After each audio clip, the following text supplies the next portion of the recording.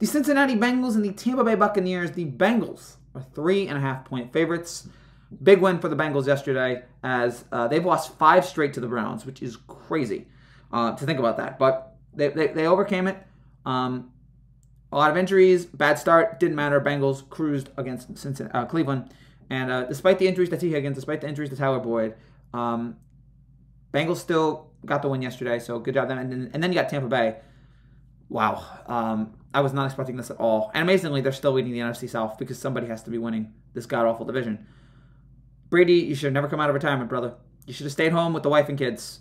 And now you have no wife, no kids, and you're you're under 500, and you're losing to you you you're losing 35 to seven to a, to a rookie quarterback who's Mr. Irrelevant in the NFL draft. Whew, it's uh it's not not ideal, not what you want. Uh, Brady picked off twice. Um, couldn't find the end zone until like two minutes ago in the third quarter. The Bucks surrendered five touchdowns to Brock Purdy.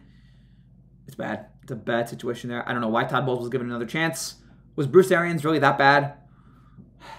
Whatever. Uh, this should be a wrap for the Bengals if Tampa Bay keeps playing like this. I hope that the NFL steps in and says no NFC South team will be allowed to make the playoffs because they really don't deserve it. Give me the Bengals minus three and a half.